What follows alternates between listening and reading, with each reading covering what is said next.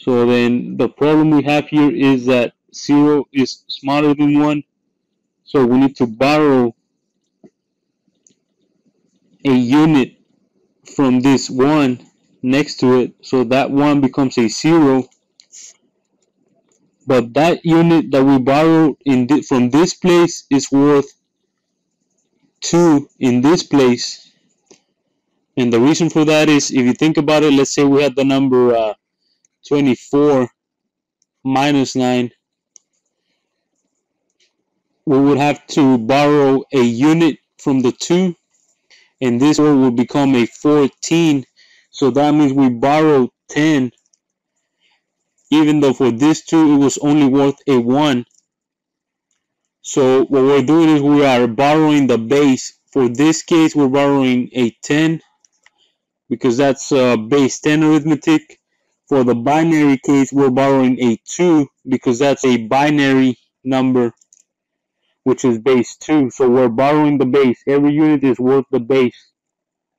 So 2 minus 1, 1, 0 minus 0, 0, 1 minus 1, 0. So the answer is 1 and that's what we should get since this was 6 and this was 5 6 minus 5 is 1 so let's go ahead and uh, look at a more complicated example.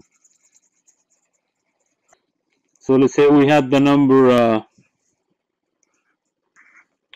24 in binary and we wanted to subtract a 9 from it.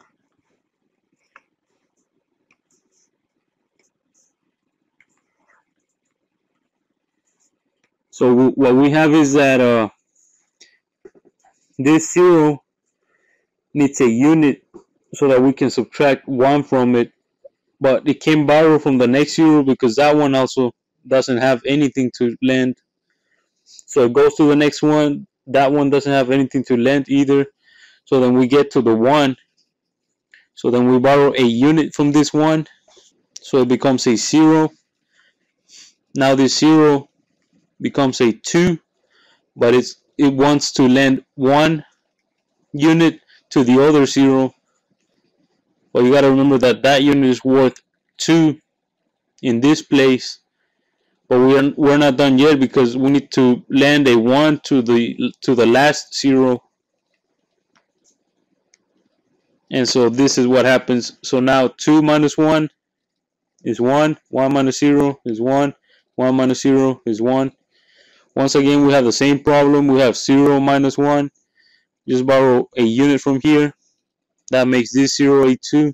2 minus 1. And this should be a 0, I'm sorry, since we borrowed a unit. So 2 minus 1 is 1. And our answer is 15. And that's what we expected since this is 24. And this other number is 9.